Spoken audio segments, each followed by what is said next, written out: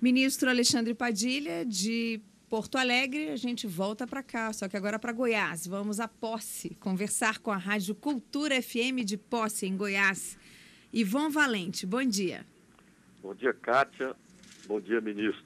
Bom dia, Ivon. É, um prazer falar com vocês. A nossa região, a região Nordeste, uma região que ficou esquecida pela capital do estado, Goiânia, e o Distrito Federal não adotou. Nós estamos a apenas 320 quilômetros de Brasília e fomos manchetes do jornal do Correio Brasiliense com a doença que era do século passado, do milênio passado. A gente gostaria de saber quais são as ações que o Ministério vão tomar, principalmente com relação às casas, que ainda as pessoas estão habitando em casas de adobe e há uma contaminação ainda muito grande, com aproximadamente 2 mil pessoas infectadas pela doença de Chagas, que é uma doença ainda que deveria estar erradicada no Brasil. A gente gostaria saber do senhor quais são as providências que o Ministério pode tomar em relação a essa doença. Bom dia, Ivon. Bom dia a todos aí de posse. A doença de Chagas vem reduzindo bastante no Brasil ao longo dos últimos anos, fundamentalmente porque ela está relacionada às condições de moradia das pessoas. Então, o grande programa habitacional, tanto Minha Casa Minha Vida, como os programas de habitação rural, eh, são as grandes prioridades na área rural, exatamente nos municípios com maior endemicidade para a doença de Chagas. Então, tanto o Ministério das Cidades quanto o Ministério do Desenvolvimento Agrário estão absolutamente à disposição para projetos, no caso do município de Posse, no caso dessa região, para obras que possam reduzir a presença dos vetores próximos às pessoas. A segunda questão, o Brasil é o único produtor no mundo inteiro do único medicamento que existe hoje para a doença de Chagas, o chamado benzenidazol. O Brasil garante o abastecimento para todo mundo. No começo do ano passado, o Brasil garantia o abastecimento para toda a América do Sul, garantia o volume que era solicitado pela Organização Pan-Americana de Saúde, e a OMS, em junho e julho do ano passado, pediu para que o Brasil passasse a produzir para o mundo inteiro, porque nenhum país do mundo continuava produzindo medicamento para doença de Chagas. Agora, uma coisa muito importante, viu, Ivon? Vocês têm um papel é, importante nisso, porque eles ajudam a orientar a população. Às vezes se passa a ideia de que esse medicamento ele é um medicamento para ser tomado ao longo da vida ou em qualquer momento, que pode reduzir os riscos cardíacos, os outros problemas da doença de Chagas.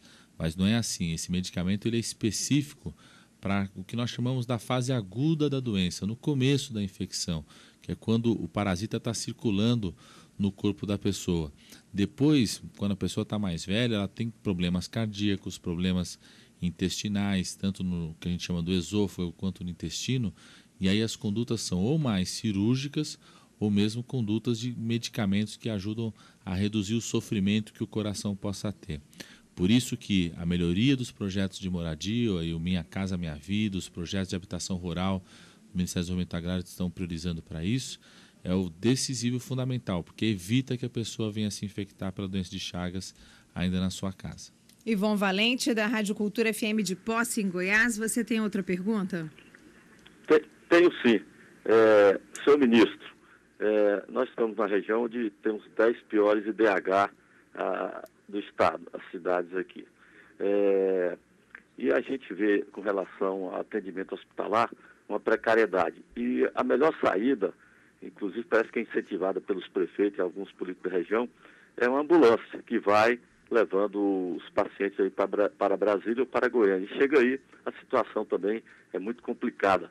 O governo federal não tem um planejamento para melhorar essa condição, evitando assim que as pessoas ficam sofrendo e morrendo nas estradas aqui para, para Brasília ou para Goiânia? É, essa prática da ambulância é a pior saída, viu, Ivon? Eu diria. É, o, lógico que o Ministério da Saúde tem uma série de ações, recursos, dependem muito do Estado e do município para que isso aconteça nos municípios. E uma grande preocupação que nós temos hoje é poder permitir e incentivar que mais médicos trabalhem nas regiões economicamente menos desenvolvidas.